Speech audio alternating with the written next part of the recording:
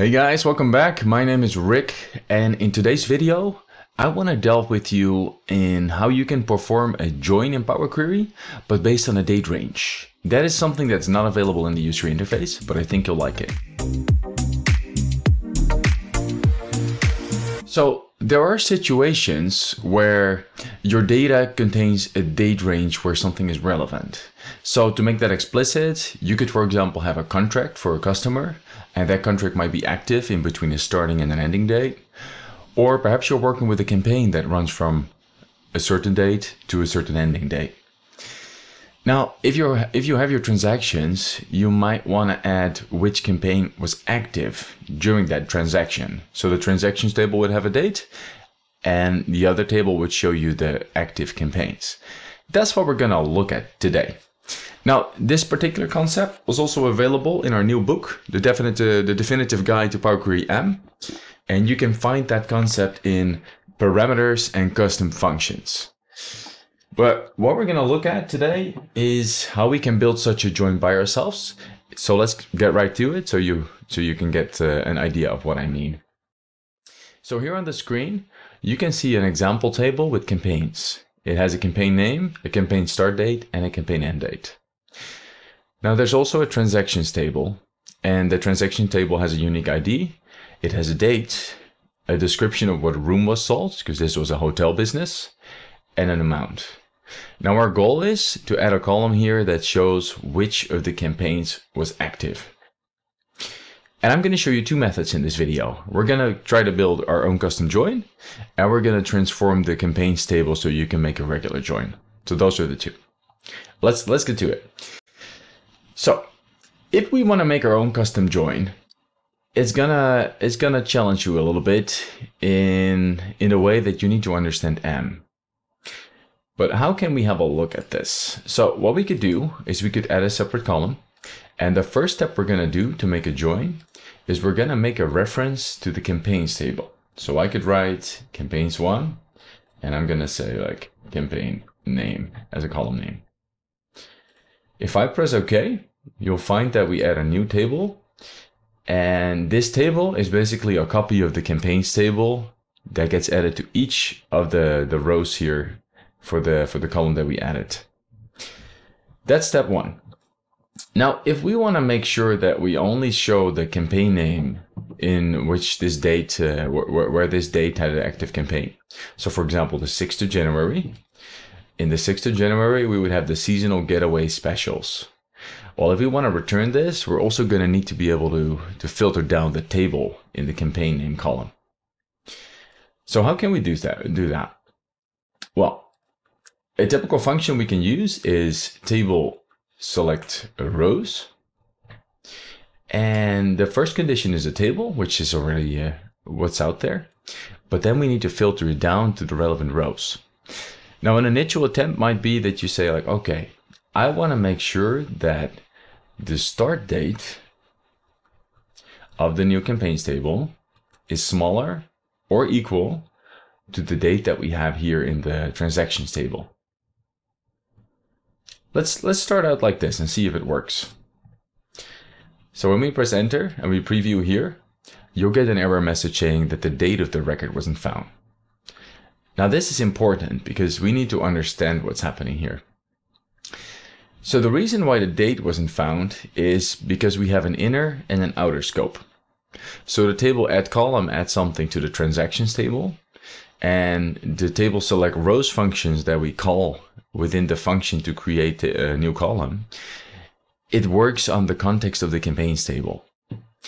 Now the reason why it's not so explicit here is that the each keyword is actually syntax sugar for a function with a single underscore as its parameter. So if we look at this, then we could change the each keyword for this. There we go. Uh, just remove this. And at the same time, we could do that for this each one as well. It's even more explicit. Let's see, we can have an underscore here and an underscore there. So we're still going to have the same problem, but now it's more explicit of what's happening. So what's happening is the following. Once we're within the table select rows function, the table select rows function wants you to provide a function and its second argument. Now, we provide the function with an underscore here, and we say within the context of the campaigns table, look for the start date, and within that same context, also look for the date. Now, as you might remember, the campaigns uh, table does not have a date column. It only has the start and end date. To work around this, we're going to have to make it more explicit when we are referring to the inner context of the campaigns table and when we are referring to the outer context of the transactions table. Now, and how we can do that is we just give a different name to the underscore. So the transaction table could be a T, and we could have a campaigns table with a C. Now, all we need to do is make sure that we refer to the start date from the campaigns table and the transaction date from the transactions table. And now if we preview this, you can actually see that that original table that we had is now filtered down to only the rows that meet our condition, where the start date is smaller or equal to the date. But if we go ahead over here, we see that there's more rows and more and even more. So this is a good first step, but we also need to make sure we filter for the end date. Now we can do that in the same way. So we could say like end, we could say from the uh, campaigns table, the end date needs to be bigger or equal to the, the date in the transactions table. Here we go. And if we now click through here, we can actually see that we have a right filtering. We, we basically perform a join. And then if we want to return the, the campaign that was active, we can simply expand the table and click on the campaign name. And you got it right here. Now, if you want to make it even more specific so that you can keep your data type, we can go back here to the step that adds a new column. And as a last argument, we can add that the result will be of type table. And we want to return the, the campaign description uh, description and which is of a text type. Now let's double check if that was the actual name of the column. It's called campaign name. Okay. So it's not campaign description, but campaign name. And now if we go to the expanded step, we can see that we, first of all, we have the campaign names. Second of all, the null value here shows that there is not a single match for the 8th of February. And that is right, because if we look here, we have a campaign between the 1st and the 5th of February, and one between the 10th and the 16th of February. So that is method one. So in our book where we describe custom functions, I also delve into how you can create a custom function of this logic. And we're going to look at context and how you can make different references. So I recommend looking into the book if you want to learn more here. Now we're going to get on with the second method because this was method one. Another very useful method to perform exactly the same operation is instead of creating a join in this way, we could also adjust the campaigns table so that you can perform a, regular left outer join. And to do that, we're going to want to adjust this table in a way that we're going to have a unique date for each of the dates a campaign name is active. And to do that, the first step is to create a custom column again. And in this case, we can call this one date. And our goal is to create a list of dates between the start and end dates first. There's a lot of ways we can do that, but for today, let's use the list dates function. The list dates wants to have a starting date as a first argument. It then needs to have the number of days to create for the list. Well, a, useful function for this is duration days. And then we could uh, basically say we have the ending date and we remove the starting date from it. And we always need to add one extra because otherwise we have a, a list that is too short.